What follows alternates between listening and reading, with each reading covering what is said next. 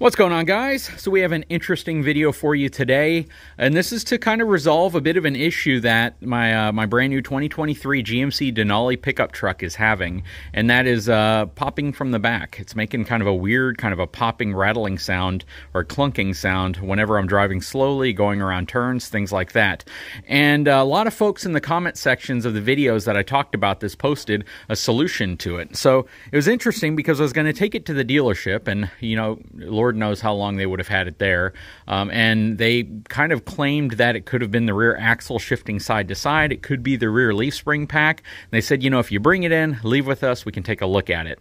Uh, I didn't really want to go through that, even though I still may end up going through that if this doesn't work. Anyways, in the comment section of the video, some folks mentioned a solution that's sitting on the back of my uh, tailgate right here. So we're going to talk about those and uh, see if they work. Hang tight, I'll be right back.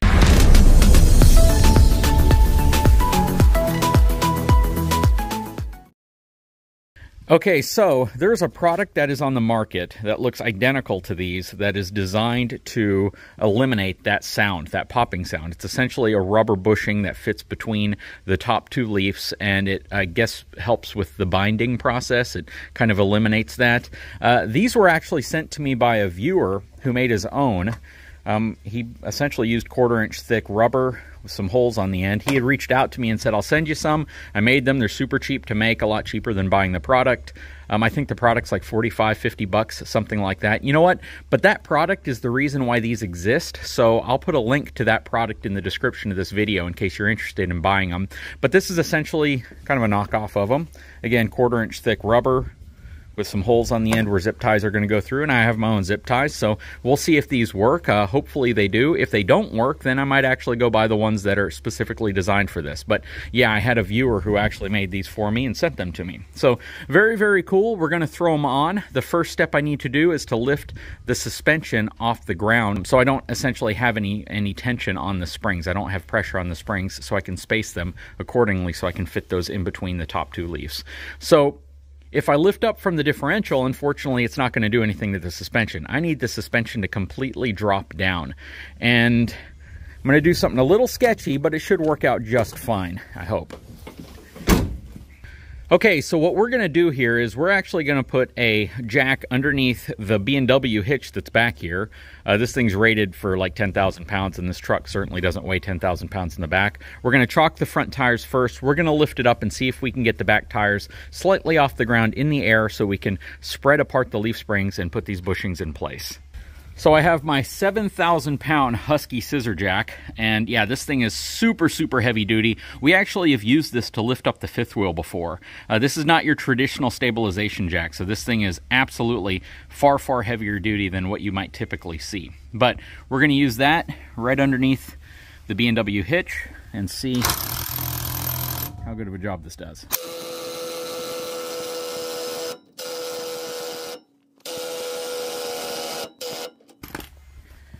All right, don't know if the tires are off the ground, but they're darn close to it. We may have the pressure off of the leaf springs enough to see if we can actually start separating the leaf pack. But let's see how this works. Okay, so we have plenty of, uh, of tension off of them right now. I have a pry bar right here, and you can see when I pull on the pry bar, it creates some space right there. And that's what I'm gonna slide this into, and hopefully that'll fix the problem. We're gonna do it on the front and back of all the leaf springs, and uh, and see if it fixes the issue. Okay, so that was actually really easy to get it in there, but yeah, you definitely want to take the tension off of the springs in order to do it, and you want to allow them to decompress. We're going to run a zip tie through here, tighten it up, and then knock out the other, uh, the other three corners and see if that fixes a problem. Okay, so we have the zip tie in place. Everything is really tight. We're going to go ahead and knock out the other ends of the leaf springs. We'll come back so we can do some uh, drive testing. Okay, so we have all of them done. We can lower this back down. You can kind of see them placed on all the uh, leaf springs front and back. Let's get the truck lowered down and hopefully this fixes the problem so I don't have to send my truck into the shop and leave it there even though it's under warranty.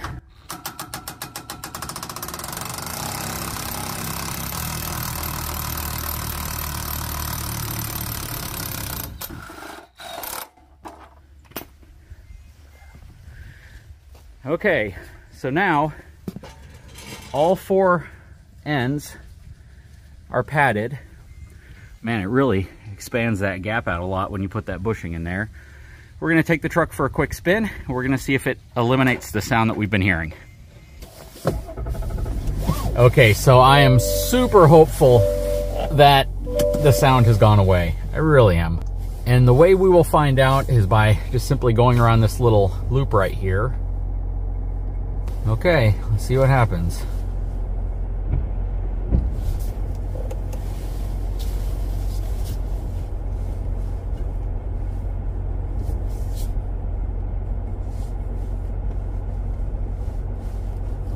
I think the sound's gone. I don't hear it at all. Let's expand this drive a little bit. I kind of regret wearing a coat that makes a lot of noise anytime it moves, but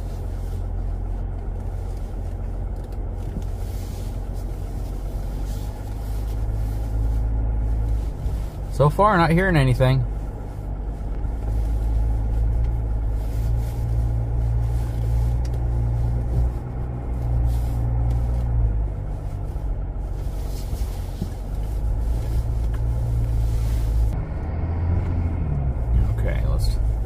Little bit more maneuvering here. You may hear a little rattling in the back seat. That is the uh, child seat I have back there.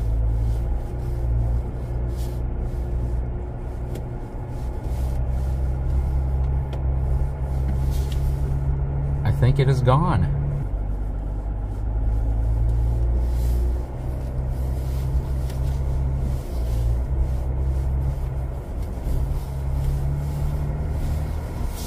This is a good example of being at an angle.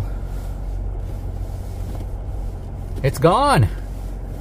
Problem has been solved. Uh, hopefully they last. Hopefully I don't have any issues with them wearing out prematurely, but they appear to have fixed the problem. And um, yeah, I definitely want to give a big thank you to the subscriber who uh, wanted to remain anonymous, who sent me the little rubber pads that were essentially the same thing that he was able to find online.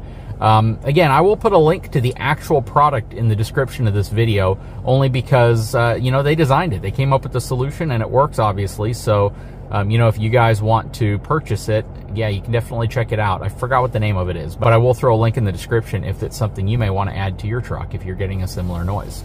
Very, very cool. Again, only time will tell how long they're going to last and under what conditions, you know, they wear out. But um, I'm imagining, and I could be wrong, but the official product might hold up a little better. I, I don't know. Um, it'll be interesting to see if they do. But this, for me, has fixed my problem. Essentially, the uh, that clunking noise that I was getting when I would just make little maneuvers like this. It would give me a clunking noise, and it was very annoying. And this saved me the time of having to take it to a dealership, having to get them to repair it, and simply you know, lifting the back of the truck up, taking some of the tension off of the springs, and placing uh, these little pads in between the ends of the top two leaf springs at the very end and zip tying them in place. So very cool. Anyways, guys, I sure hope you enjoyed this video. I'm very happy that the problem has been resolved because it was actually bothering me. Uh, it was really the only issue I've had with the truck, honestly, uh, besides, again, the firm seats, which aren't as bad as they used to be. They've actually worn in a little bit on me. I don't think they're any less firm. I think I'm adapting to them a little bit more than I did. Um, I'm going to do a video pretty soon kind of talking about over dash visibility because one thing I have absolutely noticed about this truck is when I pull up to a parking uh, area or I pull up in front of a gas station or whatnot, um, I think I'm a lot closer than I really am. I get out and I look around the front. I'm like, wow, I still got like five feet of space in front of me. Um, and I can get much closer in my truck. I can get much closer in my wife's Expedition, and I can get much closer in some other vehicles. So what I may end up doing, and let me show you here, I may end up doing a video from the cab of both my wife's Expedition, which is very similar to an F-150, and this truck, just showing you what visibility you have over the hood, because the hood on this truck is very, very steep.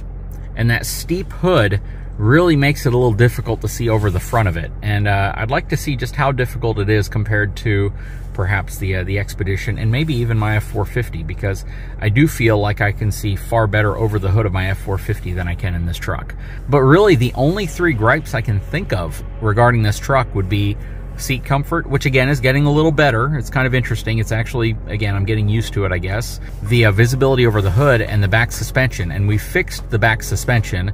Um, it was a lot quicker than taking it to the dealership. So for those of you who are like, you should take it to the dealership, um, no, this was a lot, lot quicker for me, and I was able to make a cool informed video seeing if it actually fixed the problem, so that's really cool. But yeah, besides that, the truck's actually been a phenomenal truck. Haven't had any issues with it. Still getting remarkable fuel economy, and I'll constantly be giving you guys updates on how this truck is performing for us.